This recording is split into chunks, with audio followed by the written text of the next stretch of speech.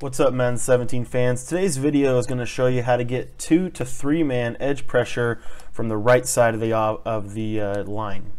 What's up guys, my name is Cody and I want to welcome you to today's video. Today's video is going to be sharing with you uh, a defense that I've been using for quite a while now and something that I feel like I've really I think gotten really pretty good at. A lot of people probably already know this play, but it's just been my base, and I wanted to share with you share it with you guys because it's what I've been doing recently. So the play is the nickel normal, and it's what I like to do is flip it. I like to flip the nickel normal and call the play nickel blitz two. Now tomorrow, or actually later on this week, we're going to show you how to get this pressure from any play in the nickel defense. But basically what we want to do here is we want to base align, we want to press coverage.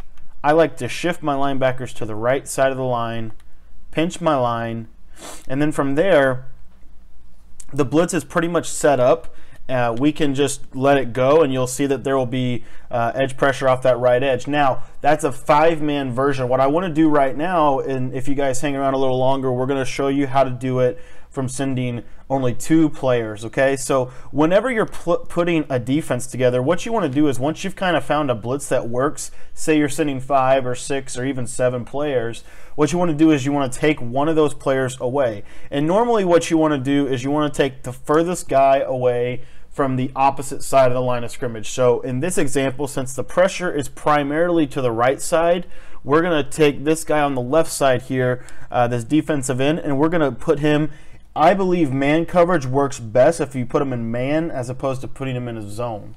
But you can put him in a zone. But we're going to put him in a man assignment on this guy on the left side, uh, this receiver on the left side, Matthews. Another thing you could do, uh, in theory, is you could put him in a cross man assignment, uh, but we're just man him up on anyone. It really doesn't matter. So then what you want to do is you you see you test it, and as you see, it stays and it still goes, it still works. Now here's where things kind of get cool. You just kind of keep applying that principle. So now we're going to do it with Crawford, and uh, and you're going to see the pressure is still going to come in off that right edge. We actually got a, a nice block shed uh, off the middle guy.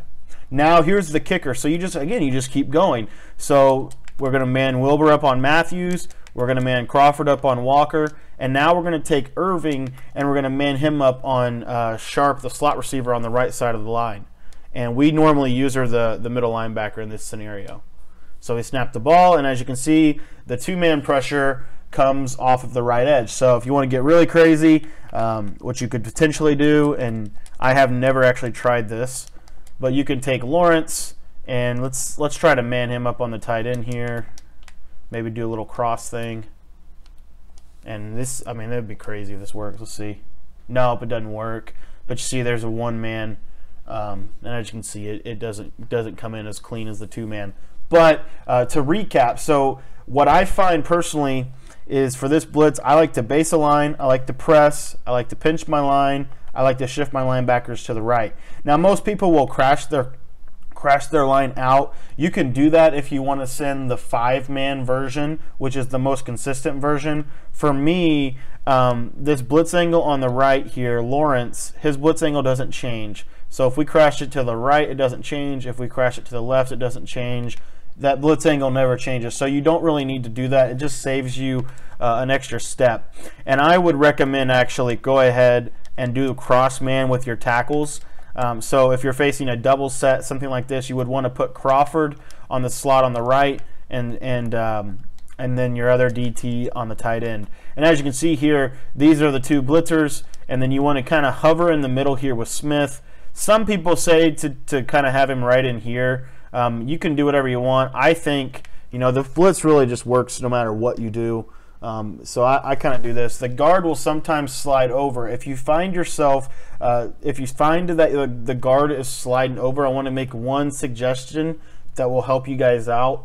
And uh, and what I like to do in that situation, if maybe he's slide protecting or doing something crazy with his line and his guard is picking it up, in that in that situation, just take Irving and put him on a quarterback spy, or you can do like those guys said and really kind of hold him right in this area. But I just really don't like that because when they run the ball, it's very difficult to stop the run.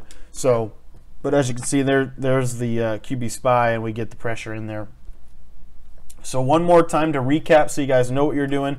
Also, uh, a quick update. The, the setup for this play will be in the description, and it comes from the Cincinnati Bengals defensive playbook, but it comes from any nickel normal, uh, nickel normal formation in the game.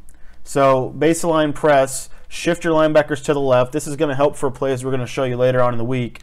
And then you just start manning guys up. So we're just going to man everybody up here. And then again, I recommend holding with Smith here, right in the middle.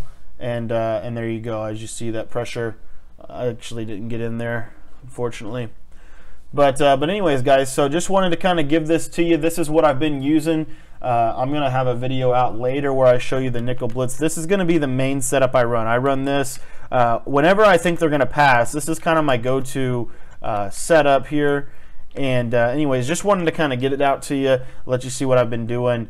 And uh, sometimes that guard will slide over. Again, if that guard slides over, you can go with a little bit more of an extreme version where you're taking this guy here and you know you kind of hover right in this guard area and you'll see the pressure here works like a charm. And that's actually a two-way version that I've been working on. So anyways guys wanted to share this video with you. If you guys liked this video I would just ask that you hit that subscribe button. Or if you're already subscribed then step up and help out the channel grow by sharing the video with your friends guys my channel uh, is back completely. I'm working really hard on it working really hard on the content. So i would just uh, really just recommend you guys to let people know. Videos are coming. The channel is definitely going to be going through some transition so it's going to be great. And uh, at the end of the day all i'm about is trying to help you guys get better at the game. Now again i don't claim to have invented this setup or uh, you know, invented nickel blitz or whatever. It's one of the most popular plays in Madden 17. All I'm trying to do is show you what I've been using and uh, hopefully you can apply it to your game. Thank you guys so much for your time. And remember, if you have any questions at all related to Madden, please leave those in the comments and I will get in touch with you. Thanks.